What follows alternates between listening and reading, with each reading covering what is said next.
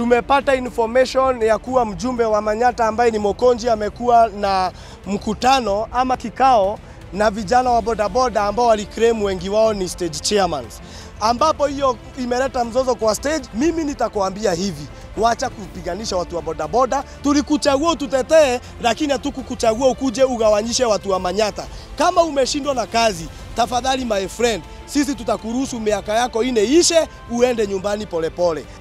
Kwa hivyo ile kitu tunahitaji kutoka kwake ni atuletee maendeleo, sio kutupiganisha tu.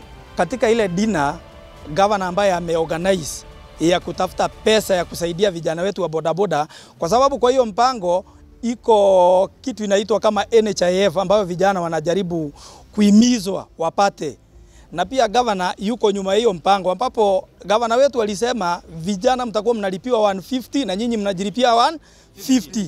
Kwa hivyo mimi ningeomba mjumbe wetu, tafadhali wewe wacha kuleta mambo yako ya siasa kwa watu wa bodaboda. If you want to score kwa watu wa bodaboda, sio kutupiganisha, ni kutuleta pamoja na kutuonyesha maendeleo.